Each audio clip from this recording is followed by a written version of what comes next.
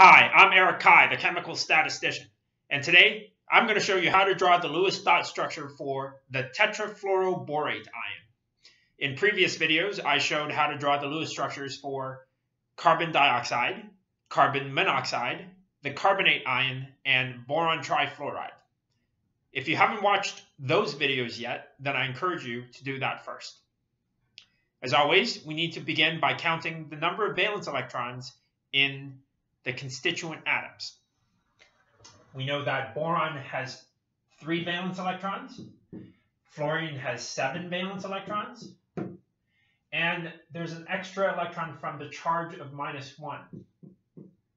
In total, we have 32 valence electrons.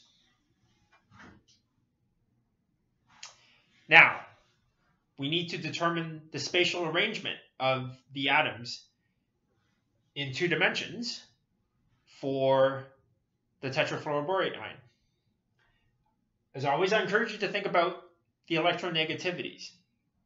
Fluorine is more electronegative than boron, so it makes sense then to put the more electronegative atoms in the periphery and the less electronegative atom in the center.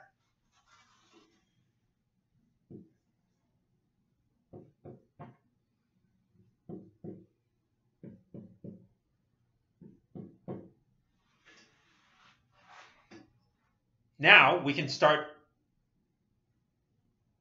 adding the electrons to this Lewis structure. As usual, I encourage you to start by filling in the bonds. And I encourage you to assume that the bonds are single bonds. This isn't always true, but it's a good assumption to begin with.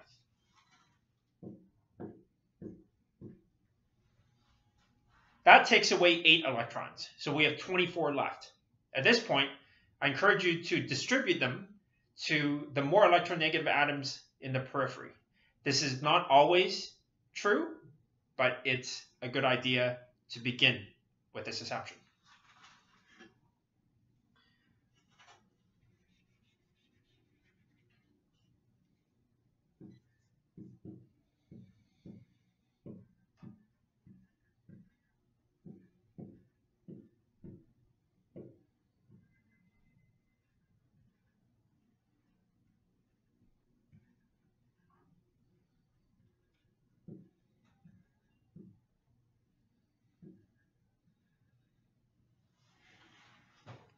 So we've distributed all 32 electrons, but we need to show the charge of minus one to this Lewis structure because this is a polyatomic ion.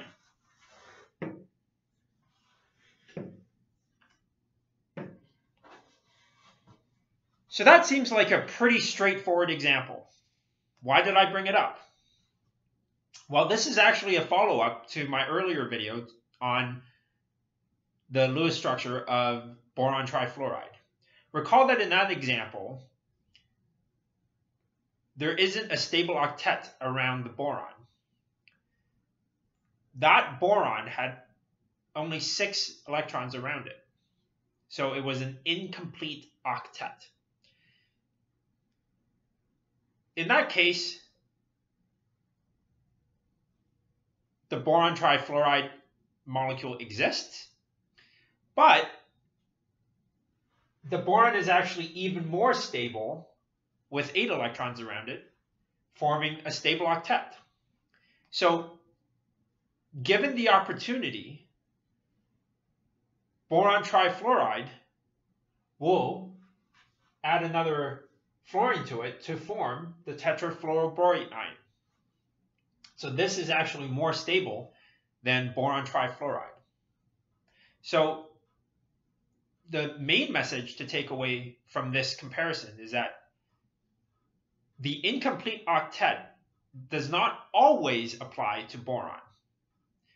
And we have to examine how boron behaves on a molecule by molecule basis. So the incomplete octet applies to boron in boron trifluoride, but the stable octet applies to boron in the tetrafluoroborate ion. Okay, all right, so If you'd like to learn more about statistics, chemistry, machine learning, or math, then please visit my blog, The Chemical Statistician. You can also find me on Twitter at ChemStatEric. Visit my YouTube channel to learn more about statistics or chemistry from my video tutorials. And you can also find my new talk show, The Central Equilibrium, on my YouTube channel. Thank you for watching this video, and I hope that you learned something useful today.